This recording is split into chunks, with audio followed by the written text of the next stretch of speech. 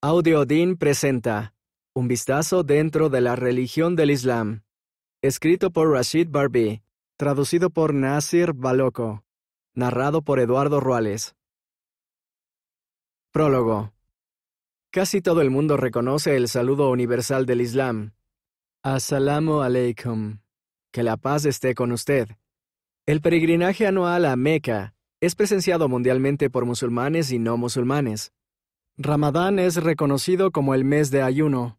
Durante ese mes los musulmanes se abstienen de comida y bebida desde el amanecer hasta la puesta del sol. Mucha gente tiene un amigo, un familiar o un compañero de clase que es musulmán. Sin embargo, mucha gente no entiende bien las creencias del Islam. Esto es un vistazo dentro de la religión más malentendida y mal representada. Y aún así es la religión con el crecimiento más rápido en el mundo. Esto es el Islam. Rashid Barbie. En el nombre de Dios. Los musulmanes se refieren al creador del universo usando el nombre Alá. En realidad, cuando uno habla de Dios, el nombre Alá es usado mundialmente por toda la gente que habla árabe, sea judío, cristiano o musulmán. Para el hablante nativo del español no es común escuchar a alguien referirse a Dios en un idioma extranjero. Jesús hablaba hebreo. Algunos sabios dicen que Jesús también hablaba arameo. Y así, cuando él se refería a Dios, lo hacía con un nombre que para todos los que hablan español es una lengua extranjera. Según la Biblia, Jesús suplicó a Dios, diciendo, Eloi, Eloi. Marcos, capítulo 15, Verso 34.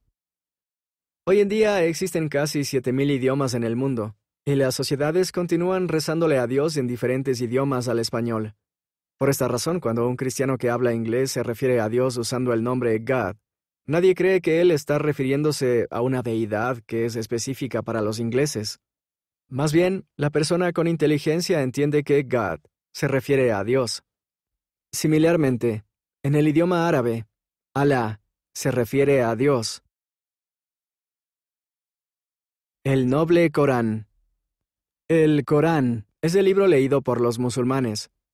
Es la palabra de Dios y la última revelación, enviada al profeta Mohammed, que la paz esté con él, en el lenguaje árabe hace más de 1400 años. Ninguna letra ha sido restada, cambiada o añadida. No hay diferentes versiones del Corán.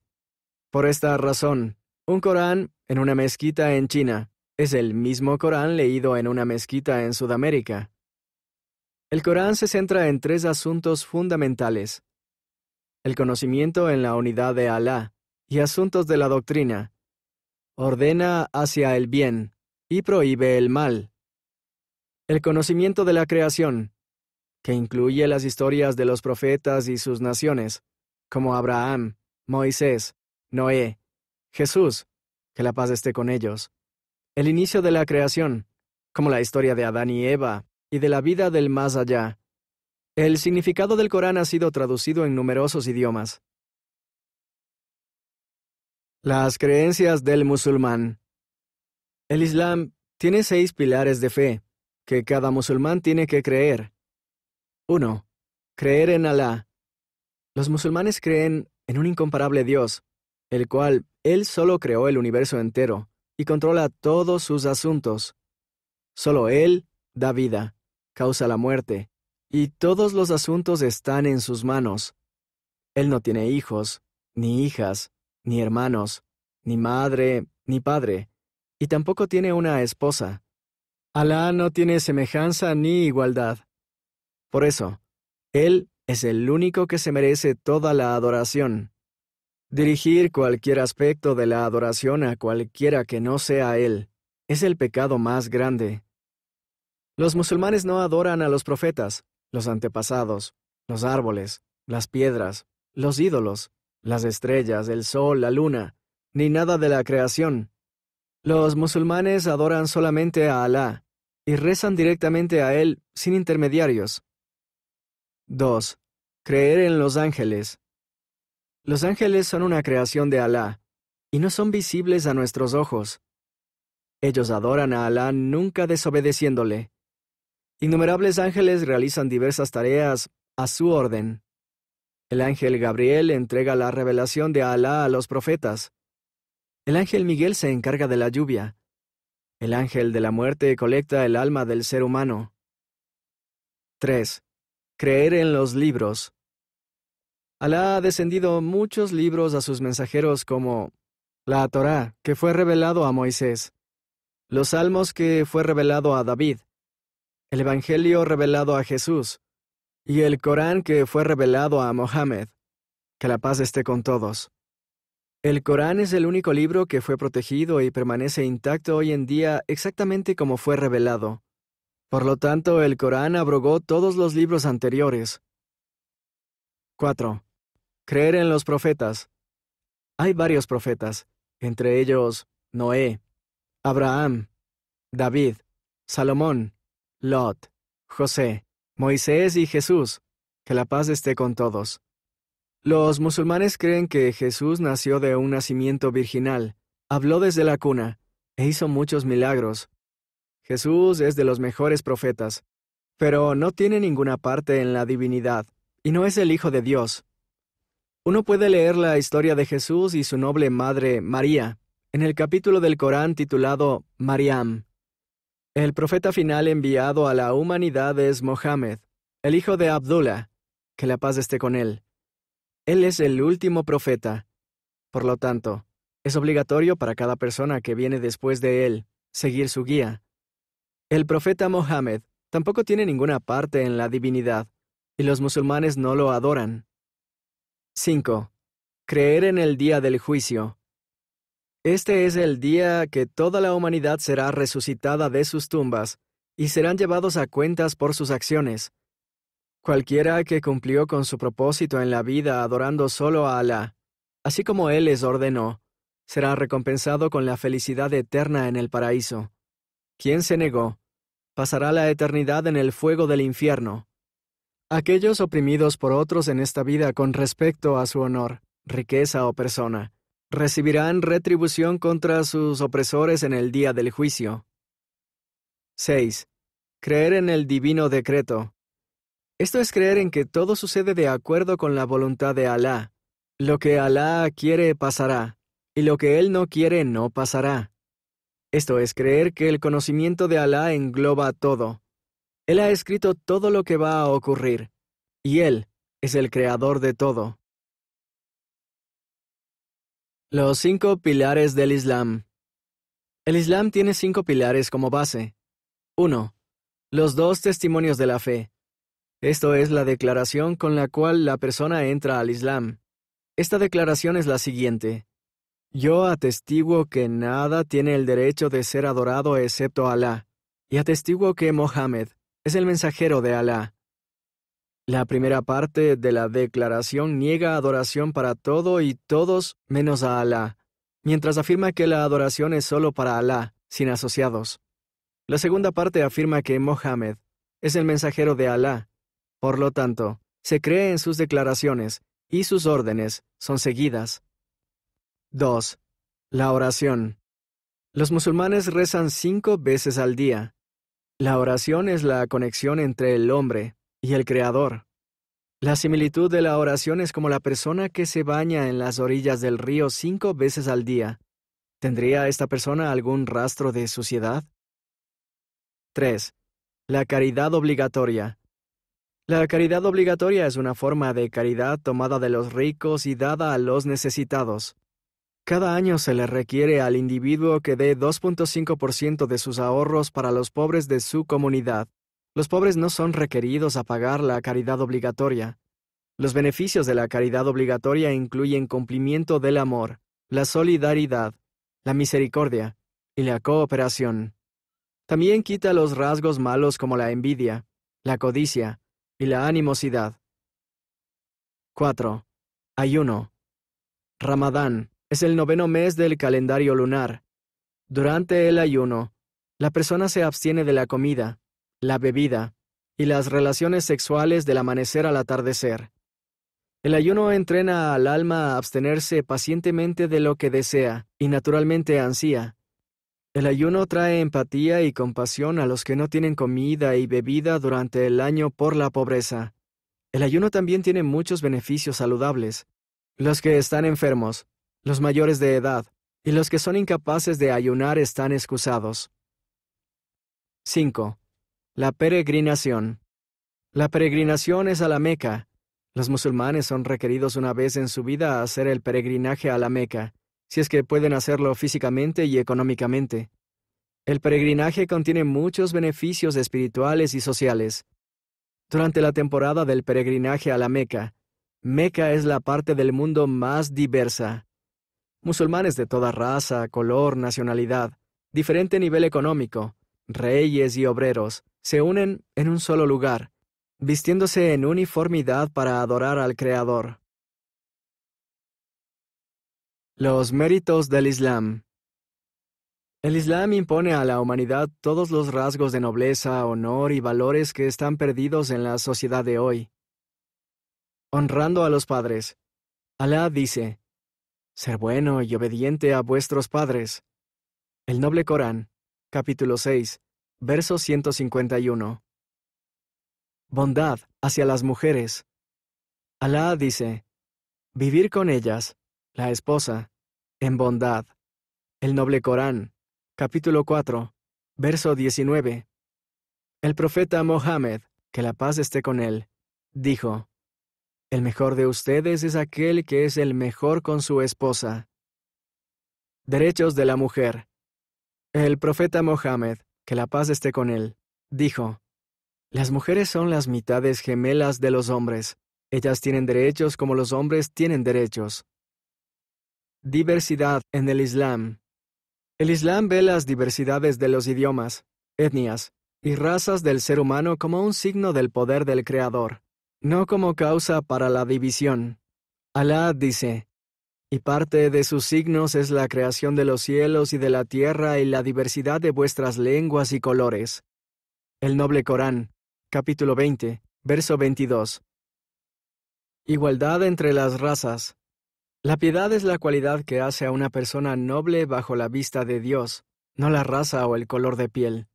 El profeta Mohammed, que la paz esté con él, dijo, Hombres. Por cierto, tu Señor es uno, y tu Padre, Adam, es uno.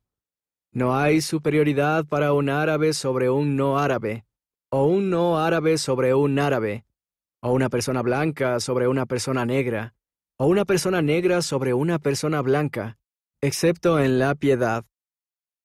Respetar a los mayores. El profeta Mohammed, que la paz esté con él, dijo, no es de nosotros aquel que no demuestra misericordia a la juventud y el que no respeta a los mayores. Cuidado de la viuda.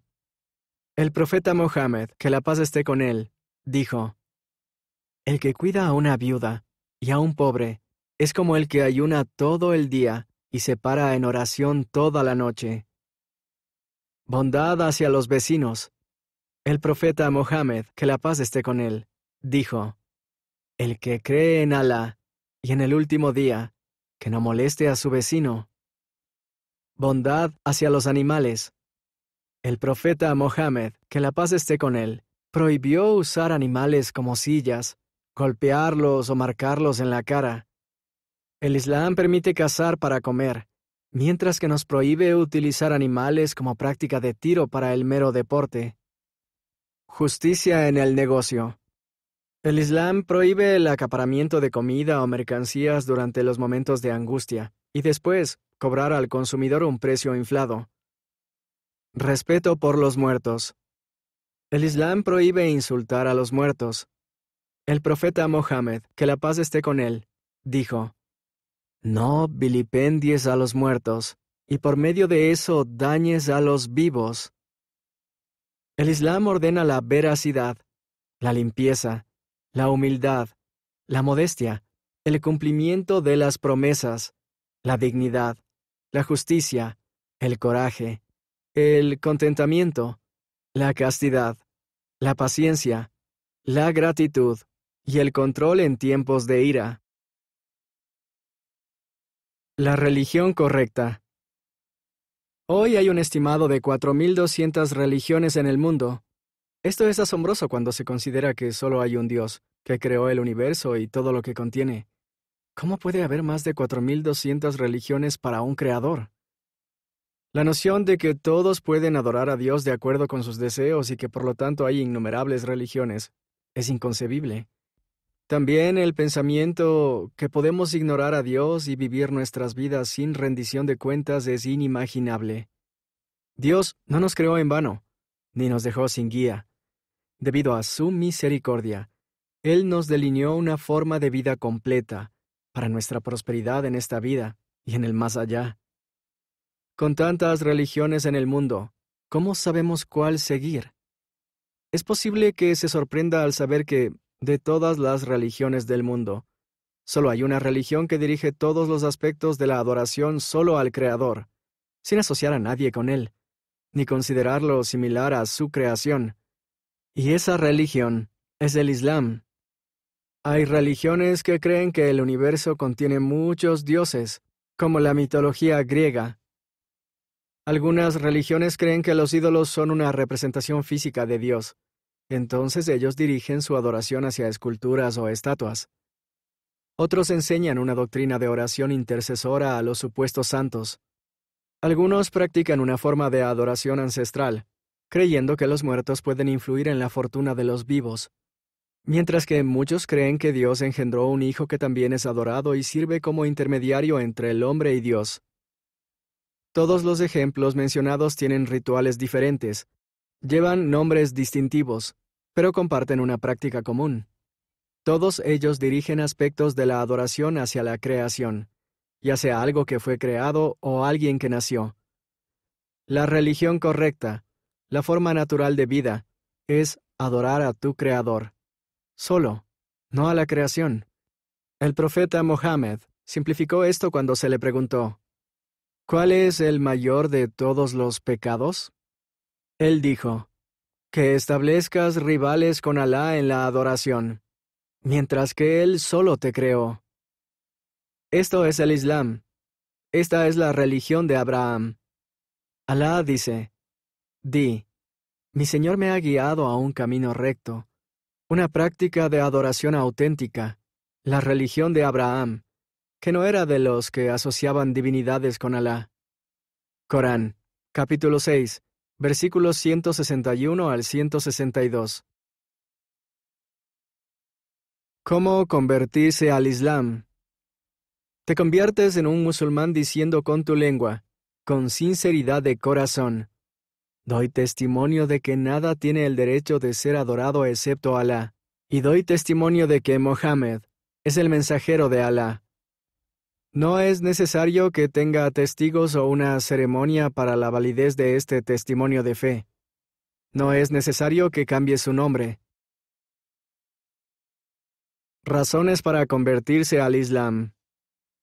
Aquellos que se convierten al Islam entrarán al paraíso. El profeta Mohammed, que la paz esté con él, dijo, Quien diga sinceramente de su corazón, Nada tiene el derecho de ser adorado excepto Alá. Entrará en el paraíso. Aquellos que se convierten al Islam son perdonados de todos los pecados pasados. El profeta Mohammed, que la paz esté con él, dijo, El Islam borra todo lo que vino antes. El Islam te permite tener una conexión directa con Dios. Alá dijo en el Corán, Y cuando mis siervos te pregunten sobre mí, yo estoy cerca y respondo a la súplica del que pide, cuando me pide. Corán, capítulo 2, versículo 186. El Islam es la forma de vida que Dios escogió para la humanidad. Por lo tanto, es la única religión que se aceptará. Alá dice, y quien desea otra religión que no sea el Islam, no le será aceptada y en la última vida será de los perdedores. Corán, capítulo 3, Versículo 85. Quien muera sobre una religión que no sea el Islam entrará en el infierno. Alá dice, quien asocie algo con Alá, Alá le prohibirá el jardín y su refugio será el fuego. Corán, capítulo 5, versículo 72. Excusas frecuentemente escuchadas. Excusa. El Islam será demasiado difícil para mí. Respuesta. El Islam no es difícil. Alá dijo, Él los ha elegido y no ha puesto ninguna dificultad en la práctica de adoración, la religión de vuestro padre Abraham. Corán, capítulo 22, versículo 78. El profeta Mohammed, que la paz esté con él, dijo, Me han enviado con el puro monoteísmo y la religión de la simplicidad. Ejemplos de facilidad en el Islam. La oración. Una oración puede durar cinco minutos. Por lo tanto, un día de oración puede requerir solo 30 minutos de su día. Si no puede estar de pie para la oración debido a una enfermedad, lesión o vejez, se le permite orar sentado o acostado. Si está enfermo, puede combinar sus oraciones. Mientras viaja, puede acortar y combinar sus oraciones. Ayuno. Aquellos que están enfermos o son mayores de edad y no pueden ayunar el mes de Ramadán están exentos del ayuno. Las personas que viajan teniendo enfermedades temporales o están embarazadas pueden recuperar el ayuno durante los días posteriores. Excusa. El Islam es una religión para los árabes. Respuesta. El 80% de los musulmanes en todo el mundo no son árabes. Por lo tanto, se encuentran musulmanes de todas las razas, colores, nacionalidades y antecedentes económicos en todas partes del mundo. El Islam es una religión universal. El profeta Mohammed fue enviado a todas las personas de la tierra, sin importar su raza, cultura, etnia o ubicación geográfica. Alá dijo en el Corán, Di, hombres, por cierto, soy para ustedes el mensajero de Alá. Corán, capítulo 7, versículo 158. Excusa. El Islam me impedirá disfrutar del mundo. Respuesta. El Islam es moderado, no es negligente ni extremo, y los musulmanes llevan una vida normal y corriente. El Islam no nos prohíbe disfrutar de las comodidades de la vida. Cambia el enfoque hacia nuestro objetivo final, que es el disfrute inimaginable y eterno del paraíso.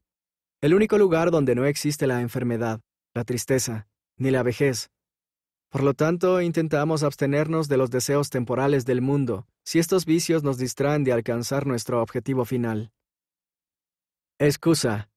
Disfrute del cerdo. Respuesta. El que creó el cerdo tiene una sabiduría infinita de por qué prohibió el consumo del cerdo. Por su misericordia, Él nos proveyó con muchas opciones de carne, para incluir los animales acuáticos, ganado, aves de corral, ovejas y cabras. Asimismo, nos dio frutas, verduras, granos, frijoles, nueces, lácteos y otros alimentos. Es suficiente para el musulmán evitar la carne del cerdo simplemente porque su Señor le ordenó no comerlo. Si su médico le aconseja que evite ciertos alimentos para mejorar su salud, ¿no obedecería a la persona sensible?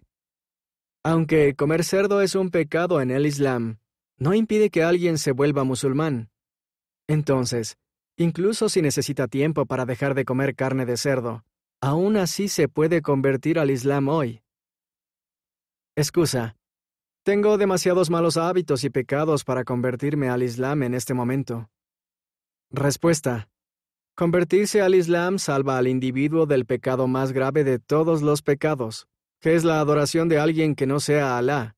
Una vez que ingrese al Islam, puede continuar gradualmente su superación personal con la ayuda de Alá.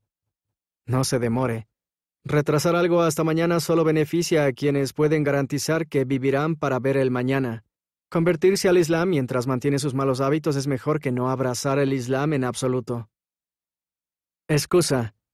Mi familia y amigos pueden desaprobarlo. Respuesta. Como individuos, tomamos decisiones personales que pueden ir en contra de las expectativas y los planes que nuestras familias imaginaron para nosotros, como los relacionados con nuestra carrera, educación e incluso nuestra elección de pareja. Decimos, esta es mi vida, y tengo que hacer lo mejor para mí. Les digo a ustedes que la religión del Islam vino para proporcionar a la humanidad prosperidad en esta vida y en el más allá. Por lo tanto, la decisión de convertirse al Islam es la mejor decisión que jamás tomará. No ponga en peligro su bienestar y felicidad en esta vida y en el más allá por temor a la desaprobación de los demás. Un verdadero ser querido, un verdadero amigo, respetaría su decisión. Oro para que Alá le bendiga con verdadera guía. También le animo a orar directamente al Creador. Pídale que abra su corazón. Pídale su guía.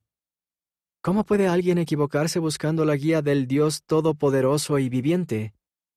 Dios dijo, Oh siervos míos, todos ustedes están descarriados, excepto a aquellos a quienes yo he guiado. Así que busquen mi guía, y yo los guiaré. Aquí hay una oración sencilla que no le tomará mucho tiempo. Oh Dios, guíame por el camino correcto, y sálvame del desvío. Esta ha sido una producción de Audio Dean, un vistazo dentro de la religión del Islam, escrito por Rashid Barbie, traducido por Nasir Baloco, narrado por Eduardo Ruales. Un vistazo dentro de la religión del Islam está disponible en formatos digitales en Authentic Statements y Audio Dean. Copyright 2020 by Authentic Statements. Producción Copyright 2021 por Audio Dean. Todos los derechos reservados.